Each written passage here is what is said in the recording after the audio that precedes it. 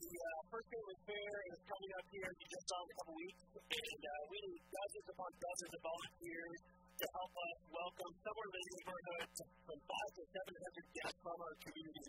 You know, a church, one of our values is showing outward compassion, and we love to do events like this because it's just our way say, and it is hopefully a privilege and honor to be a church that exists in this community. And so if you have any chance to sign up, we would uh, love for you to do so. You can find out more information uh, first step on your way out. Well, today we are embarking on a two-week uh, teaching series that uh, has probably never made me more nervous in, in the entirety of my preaching career, if you will. These two messages I have probably rewritten, solicited more advice, prayed over what about to say this week and next week, arguably over anything I've, I've, ever said, because let me tell you what, you know what's really, really easy to not talk about in church? Politics. And some of you just need to say that word. You kind of tied up a little bit, right? If that's how you feel, that's how, how, how I feel. You know, when it comes to church, we, we, it's easy to talk about faith and Jesus as His King and Lord of our lives. And when it comes to, to politics, there's this, this weird dichotomy. Surrounds us it controls a lot of things in our lives, whether we like it or not. We find ourselves thinking about it, talking about it, sometimes arguing about it. But coming up on this cycle, it's not lost on me that I to spend a couple weeks talking about. It. Now, the sad truth or the sad reality, and perhaps you can see this firsthand for your own experience, is the division that political views have caused. Maybe it's division uh, with someone in your life, maybe someone in your workplace, maybe you attended a church at some point in the past that said if you don't vote, in this way, you are not honoring God with your life. Let me just tell you, as a church and as a congregation, this is why we're going to talk about it, not because those are things that need to happen, but because it is the reality. The reality is that our church is made of people from all over. Not all over the CU area, all over the globe. We're filled with of different people from different backgrounds, history, socioeconomic statuses, different countries are, are, are present every single Sunday here. It's also not lost on me that some of you, this is your first season, political season as a disciple of Jesus. And you've been told or thought to believe that all Christians must vote a certain way, or maybe that was the reason you avoided church in the first place, because whenever Christians and politics got together, it got really ugly. And so here we are. I'm a little nervous. I'm a little anxious and we're going to talk about it for the students. Before we dive in, before you tune me out, uh, I want to offer up just this, this, this disclaimer, if you will. Number one is that in the next two weeks, it'll probably make us all a little uneasy. We'll all probably be a little uncomfortable at some point or another. Number two, I ask you this week and next week, and if you listen gracefully, and you don't listen to judge, that you, you hear me out, and if you ever find yourself arriving at a spot and like, is that really what the church thinks or arrogant? Have a conversation before you uh, arrive at a conclusion. I want to say that I consider it a great privilege and a joy. It is an honor and it is a blessing to live in the country. You know, freedoms and liberties that we have as Americans is a true gift that not many for the rest of the world gets to enjoy. At the same time, too, I need you to hear me say this, is I don't love America more than I love Jesus. I don't. I don't love this country more than the King of the universe. And so when my American thoughts or opinions come headlong with my views of who Jesus is, it's those views that submit to Christ might be one. And so here's what you're not going to get for the next two weeks. Because it is a deafening silence. Right now. Okay? Here's what you won't get for the next few weeks. You will not get a candidate endorsement. You will not hear me say, if you want to be a follower of Jesus, this then is how you should vote and vote well. You will not get that from me. You will not get any policy suggestions or stances. You won't get any argument fodder, any gossip flows, or don't get any type of moments. But here's what I do hope you walk away with this week and next week. It's an answer to the question that I feel, the tension you feel right now the kind of thinking of right now is how do I, as a disciple of Jesus, handle myself during a, a, a, a decisive, sometimes filled with hatred and vitriol, polarizing time every four years, and do so in a way that doesn't perhaps compromise my political opinions, which you are able to have for yourself, but also remain more honoring and glorifying to Jesus, to love my neighbor as myself, to pick up my cross and to not hamper my witness in the kingdom. That's what I want to finish after to pursue together for the next. And so uh, one, of, one of our uh, pastors uh, with his message said, hey, probably a good idea. Why don't you land the plane up top so you, they know where you're going? So here's where we're going this week next week. You want to what is a good idea for this series on politics? And I love how Blaine Communications Pastor made it look like a swear word because we really want to talk about it. But you put it this way, and here's what I put, okay, this is where we're headed, is that if Jesus is Lord, then heaven is our home. And if heaven is our home, it is the gospel that is our only one true hope. Church, if you want to know what I am convicted about this political seasoning cycle, it is this. Is that the world is Jesus. And it's usually this time of the year where everyone's like, no doubt. A little bit more than we care to admit, and I think this is where we all do a, a service to this in mind. If you are a follower of Jesus, this is but a blip on your radar. This is not your home. God Hebrews chapter 3, verse 14 says, come to in Christ. If we do hold to our convictions firmly today. Goes on to chapter 12, pursue peace with everyone in holiness. Because without it, no one will see the Lord. So I you to bear with me for the next two weeks as we kind of talk about this thing that we all don't want to talk about. So let's get it. So I want to start by actually just making us all a little uneasy. Uh, how many of you would agree, show of that when politics comes up, it seems to create some sort of divisive or partisan rhetoric? Show. How many of you would probably agree to that, right? Majority of us, if not all of us. Because what we are told, or the bill that we are sold, is that if you aren't for one side, you are vehemently against the other, right? If you don't vote this way, then that means you hate this.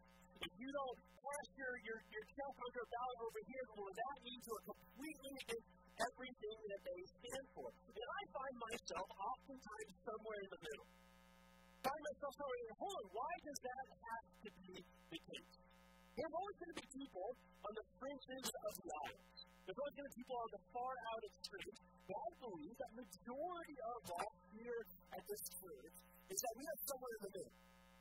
When I say the word middle, I don't mean a moderate political view. I mean someone who says, I have my political views, but I don't want to sacrifice my relationship. I have what I believe, I have what I think, I have the way I'm going to vote, but what I don't want to have happen is get at odds or edge with a coworker or a neighbor I don't want to have to just keep unfriending every single person I see on Facebook for the next three years because of this. If you're anything like me, find yourself somewhere in the middle. And that's what I want us to kind of think about. How do you, how do we get here in the first place? You know, the, the Pew Research Institute did a recent study. They asked Americans, what are some of your uh, most pressing feelings when it comes to politics? And this is what they came up with. Here's a list right here at the top emotions and feelings when politics are involved. Things like anger, anxiety, apathy, concern, and then my favorite one is flat out exhaustion. Right? I'm not going to say, hey, raise your hand for which one, but my guess is there is something on this list right here that you would say, yeah, when I even hear the word politics, one of these things comes to surface. And the research went on to say that the reason this probably happens, even though our leaders and our legislation is vitally important, these aren't the things we want. So, so, so one, where does it come from? And they, they kind of boil it down to the fact that it's probably due to the sources that we receive our information and the filter in which we go through thinking about these things. So the study went on to say that for millennials and Gen in millennials and Gen can I get an AO? You're all right, for those in the room, a study says that the hour, just being uh, an older millennial, our number one source of authoritative, with lots of air quotes, information when it comes to politics is found on social media. YouTube, followed closely by Instagram and politics, and uh, Instagram and TikTok. Now, here's what we know about them. We know that, that these social media accounts are impartial, thoughtfully curated sources of information that respectfully express views of both sides in a non-biased way that is helpful and doesn't cause division. Am I right? Am I right? Boomers and Gen Xers, taking a, a woo! Hey, there you go. You guys are awake this morning. You're off the hook. You're off the hook, right? Study shows for, for you guys of that generation, uh, news media is typically the number one source. Things like Fox or CNN follow very closely by Facebook. Which we know to be impartial, thoughtfully curated sources of information that are respectfully expressing views on both sides in non-biased ways that is helpful and don't cause division. See the problem? You see how words like anxiety, anger, exhaustion, make you feel things like victory. It's because not only do we have poor sources of information, politics seeks to be your source of hope in this life. The political world that we live in desires to be the functional savior for. It wants to offer you the hope that you must find. What you desperately want to cling to, what you pray for most desperately in this life, your vow will make the difference. You see, the right and the left, they are not balanced ideas. They are idols. They are idols screaming for your affection. They are idols screaming for your money, your energy, your brain. They give it to you. This is how they try to offer you hope. Have you ever said, we guys are all good, kind-hearted people. Have you ever heard someone say, if blank candidate wins, we're doomed? If certain candidate gets into the office, that's it. This country is over. If, Trump gets, gets elected again, if Harris pulls this out, that's it. I'm moving to Canada. You ever heard that? Have you ever heard the opposite? You know, the only way to save this country, the only way for us to get back on track, this country is going to hell in a handbasket. The only way for us to get out of this rut is to vote for fill in the blank. The reason that happens is because political ideas are telling you believe in us for your one hope. And church, let me tell you, there is only one person who should be your one true hope. And he is not on the ballot. And Jesus saying, yep, that's me. Right? He's not on the ballot. The kingdom of God is not a political party, and either candidate, get this, is going to back you into some sort of moral dilemma. So my point is this, if you are going to offer worship, praise, admiration, and hope for somebody in this life, make sure he is the one who holds eternity in his hands. His is Jesus. And what we believe is true about Jesus is that he is already king. And the place that he most wants to sit is not in the Oval Office, but on the throne of your heart. He will not be on the ballot no one who represents to a that will be on the. His kingdom is not a political party, but his kingdom very much is a group of people throughout time in every tribe, tongue, nation, ethnicity, social status, and even political party throughout the world. So I want to read us in today's passage in Philippians chapter 3. Philippians chapter 3 says, You had a like, we're going to open the Bible today, this is a lot, right? Yeah, of course, we are. So Philippians chapter 3, uh, we're pausing on our series through John, we'll pick it up uh, in, in early January of next year. Uh, Philippians is like, I don't know, 12, 13 steps away through your Bible or something. If you're the back of your Bible, uh, if you are turning there, look for the E is all the book that ends in I, and, and uh, Philippians, Ephesians, Galatians, 1st, 2nd Thessalonians, and those the like. As you're turning I want to set the stage because the, the letter of Philippians is known as the letter of joy, despite any circumstance. In four short chapters, the Apostle Paul uses the word joy 16 times. And what's crazy about that is he seemingly has nothing to be joyful about in his life because he is in prison while he's writing. And he's writing to his first church in a Roman colony known as Philippi. And Philippi, think of like uh, the modern day Florida. It's like the retirement place for all of the political people, all the Roman soldiers, when they're done in the big capital city, they would go all the way down to, to Philippi. They had nice weather, they had beaches, uh, they had to hang out, they played a lot of tennis and pickleball. It was a great place. And so Paul writes this letter to this church that is booming and blossoming, that is running headlong, intersecting with this group of people with immense pride for their country. And throughout the letter, Paul is writing to encourage these new Christians, saying, Remember who is true king of your life. It is something to be considered, something to remember, that that king is Jesus and Jesus alone. And even though you might face persecution, even though you might have to act a little different, realize that where your true home is. He's kind of winding down his letter. We're going to pick up in verse 15 of chapter 3 this morning. If you're there, there. We're going to dive in to Philippians today. Paul then writes this. He says, All of us then who are mature, so that word mature, to take such a view, uh, if you want to write a note there, you could write verses 13 and 14 next to such a view of such things. On some point you think differently, that too, that will make it clear to you. Only let us live up to what you have already attained. I don't know that word, already attained. Join together in following my example, brothers and sisters. And just as you have us as a model, keep your eyes on those who live as me. As I've often told you before, and I will now tell you again, even with tears, many live as enemies of the cross of Christ. Their destiny is destruction. Their God is their stomach, their glory is their shame, their mind is set on earthly things. Verse 20. If you are highlighting a person, underlining a person, this is our verse. But our citizenship is in heaven. I'll read that again. Let's see it. But our citizenship as mature disciples of Jesus is heaven. Eagerly await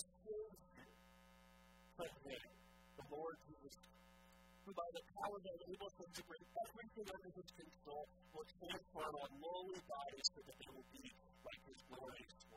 Therefore, my brothers and sisters, you, my love, and for my joy, my God, stand firm in the Lord in this way. Paul begins passage to benefit that I pull out. It says, this is what mature disciples look like. He begins by saying, mature disciples look forward to heaven, not to earthly things. Because all of you who are mature, you need to, to think in such a way. He's referring to verses 13 to 14. He says, I have all of these afflictions. I've been in prison, I've been sick, I have all this going on. But I press on towards the goal. And the goal isn't to get out of prison. The goal isn't a political win. The goal isn't a monetary gain. The goal is heaven. In verse 16, he says, therefore, that's why I live in this manner. It is already attained and stored up for you because of who Jesus is by grace through faith, not a work of yourself, and certainly not a result of yourself. This is what I get to cling to as a mature disciple of Jesus. He is, unlaw- he is unlawfully, wrongfully, most likely in prison in Rome, and he never takes a shot at it. He oh, by the way, if a Roman soldier comes to your door, if they begin to say something about me, well, here's what you need to do, and yell louder and, argue, and this one, blah, blah, blah, blah, blah, there's a certain finger that you want to give to a man, I'll, I'll oh, turn the other way. No, he just simply says, I hear it looking. I press on no matter what has happened. He never suggests hostility or preference towards another person or group of people who disagree with you. You say, because my focus is on Christ, because this life is like a blip on the radar, I do not lose sight of it. Who can say for a moment, isn't that what politics seems to do to children of us? It takes our eyes off Jesus, our things that are husband We get our words out in instances, almost to the detriment of our spirit to focus on person. Says mature disciples heaven above all. Because many earthly things are out of your control. The one that political outcomes, school boards, executive administrators, a lot of things out of control. There things out of control, like cancer, the actions of the stop, other drivers on the road. They're out of. Paul is trying to we all live life with blindness. And it's up to you to decide, are you going to choose to look heaven at all times? Or are you going to look to the left, or to the right, or in front of you, or behind you? Because when you look to heaven, you see hope and life and what is waiting for you. But everywhere else you look, you are going to see pain and destruction. Because where are looking is what you will see. The true disciples, they look forward to heaven, not earthly. But then the Bible says the opposite. The immature disciples look forward to earthly things and not heaven. And then we pick up there in verse 17, he says, So join together and follow my example. He's kind of saying, some of you, you've gotten off track a little bit. You've joined in on this. You've been distracted by the worries of this world. And it appears he's pointing out a smattering of things that this world is chasing after of their own heart. Their destiny is destruction. Their God is their stomach. Their joy is their sin. Their mind is set on earthly things. Don't be like them. Be a citizen of heaven, fixated on the cross of Christ and the, the future that is in store for you. Remember, their destiny is their destruction. That's why it's hateful. That's why it's despicable. That's why it's broken. That's why it's corrupt. Their major issues, they are focused and fixated on things. Believe it or not, I want to tell you this, that an earthly election is in fact an earthly thing.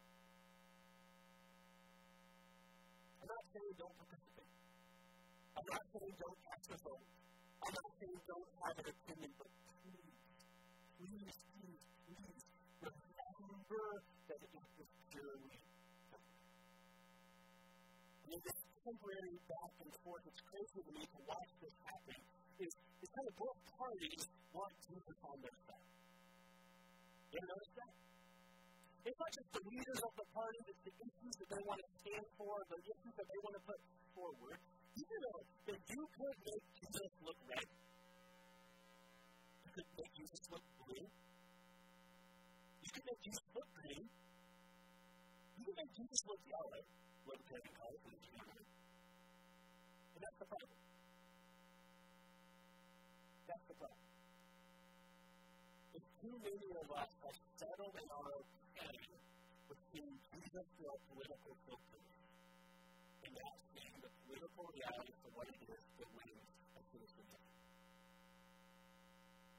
If you want to it on your side and you move to the left, you're going to emphasize Jesus' fight for the dignity of our people. The treatment of, of foreigners and refugees as a refugee himself in his life. The way in which he calls the sharing of burdens and, in fact, probably his pacifistic lifestyle. If you want Jesus on your side and you lean more to the right, you're probably going to emphasize commitment to. The life, and where it begins, and where it ends. Things like financial freedom. Everybody wants Jesus on their side, and yet Jesus doesn't to. Here's my point, is that Jesus is not an option. Jesus is not a doctor. He's not a porcupine. It's the animal, the libertarian can forgive you guys. He is the Lamb. He is the Lamb. a political footnote. Draw lines in the sand. And from this is how I will know that you are my disciple by how you clothe. Really, by the way that you love one another. When you pick up your cross from afternoon, love your neighbor as yourself. You didn't come to two sides, six sides, create sides. You came to save souls and be one of them. And there are political rhetoric rise up division, and anger, and hostility.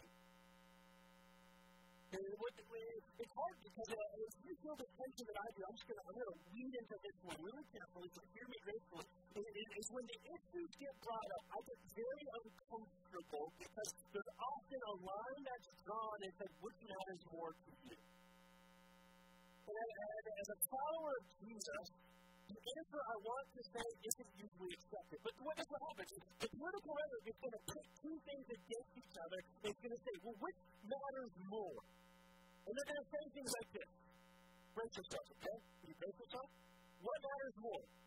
The molested mother or the unborn child? What matters more? What matters more? The black life or the blue life? What matters more? The innocent Israelis or the innocent Palestinians? What matters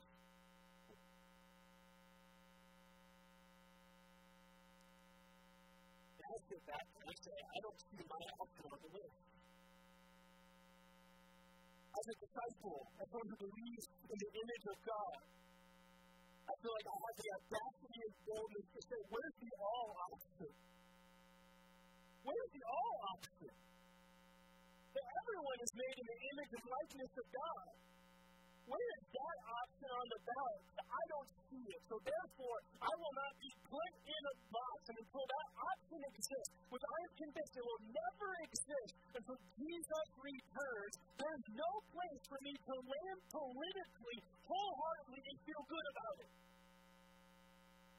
Because that option is not on the list. And so I implore you, if you claim to be a mature disciple of Jesus, have that same audacity. Claim that different way that the image of God says, I don't have to because they all matter to Jesus. I'm not giving into this dualistic rhetoric. I'm not doing it. You can hear me. I'm not saying don't vote. I'm not saying don't have an opinion. If you want to be a single issue voter, by all means, that is okay. But know that Jesus is not a single issue savior. so it's good for us to remember, disciples, that America is not our home. It's our mission. The kingdom of God is not 3.8 million square miles on the western side of the globe. It is a conglomerate of surrounding What I know to be true that means that it's dignity for all people, depravity for all people, and divinity for no people. There is no human that is worthy of my praise and my admiration, especially being considered my one true hope and Savior in this life. Every human institution on this side of heaven, established and led by man and will have faults. It will have selfishness, it will have corruption, it will have brokenness. And a four-year plan cannot be our Savior in this always. That belongs to Jesus. So understand heaven is at home. Yeah, heaven is home. In the gospel. I was talking to somebody recently who's, uh, yeah, you know, what you teach on, you know, John's going to be talking, and to about politics. And he's a cool, I won't see it from that But he's smart, he's smart. Um, he said, well, you know, because Jesus didn't live in such a, such a divided home as we do. My answer was like, you're right, he did. It was way more divided. He had the Pharisees, the Sadducees, the Romans, the pagan worshippers, the zealots, the Jews, the Gentiles, and on and on down the list. It was way worse. And guess what? He never deterred. Because all of those political leaders have gone and passed. All those political kingdoms are dead and gone. All of the ideologies of Jesus' time have not stood the time yet. Jesus and his gospel and his kingdom is still reigning in here today. Hopefully you can hear my heart in this say, if Jesus' kingdom lives, if he is Savior of the world, he is Lord of our lives, he is more concerned about who sits on the throne of your heart than who sits in the other.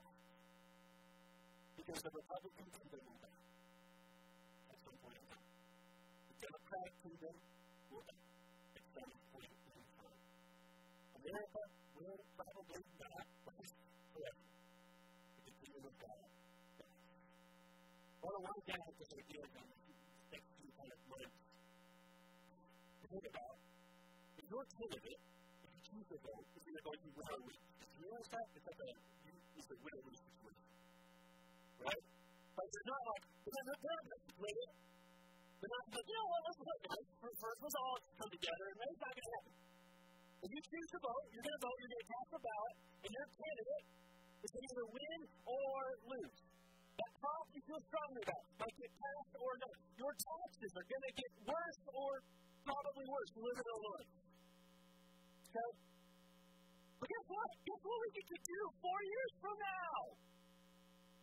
Oh, I'm so excited. Well, heaven forbid. This world is going to change and change and change and change. And we're going to do this again and again and again and again. But a mystery stays the same. So he us question. How do you get. How faithful mature disciples of Jesus handle themselves during this time? Look what the Apostle Paul says in Philippians 4 14. He goes on to say this. Having all this in mind, says this Rejoice in the Lord always. I will say it again, rejoice. Let your, what's this word? Gentleness be evident to all, for the Lord is near. Don't be anxious about anything, but in every situation, by prayer and petition, with thanksgiving, present your requests to God.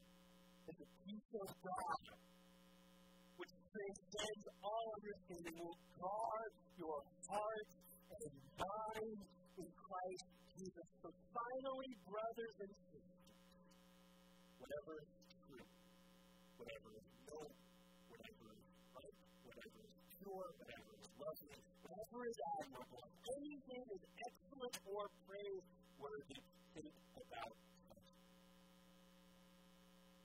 My Bible doesn't have any asterisks in here, you no footnotes or clarifiers that, that say, oh, by the way, though, as long as your pundit gets into office, or as long as the ballot seems to fall your way, no, he just says, let your gentleness be evident to all.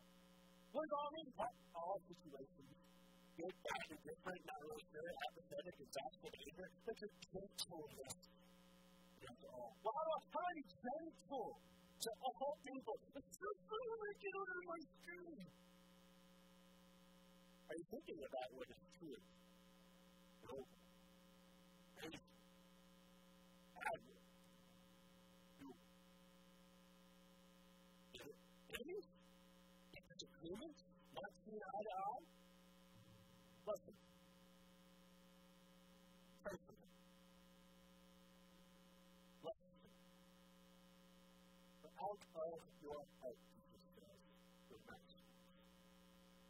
So of this comes out when politics are involved, if you're prone to calling names or mistreating someone because of the way they cast the ballot, because you view them as a political enemy, there is something in your heart that Jesus wants out. You've allowed something other than Him to become a function of faith and false. offering an earthly magnitude to But Paul says, rejoice always. We have to be one. Not because we all vote the same, think the same, have the same political preference, but we are united as citizens of as sinners.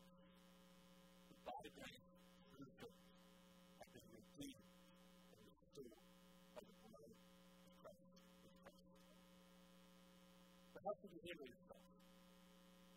But it's super contracted. It's perfect. Gentleness and evil before offense. Before offense. If you're curious about how to be unifying and loving and gentle and humble in your life, sir, it's probably better to hold your plate or not post that food. And for you, don't call me one of these. Or. There are people God loves wants to be than they are loved. The same of you, avoid social media. Not posting on social media going to be a wise decision. Especially it was emotionally charged, have the wherewithal to know it's not going to change my relationship. You ever hear somebody at the office and your blood pressure starts to rise day to day to watch look, right? Let's. If someone brings it up to you, you know you're very like politically uh. You're like, oh, yeah, you know, like, uh, sports and stuff. You get so Trump or Harris or you and you're oh, okay, here we are.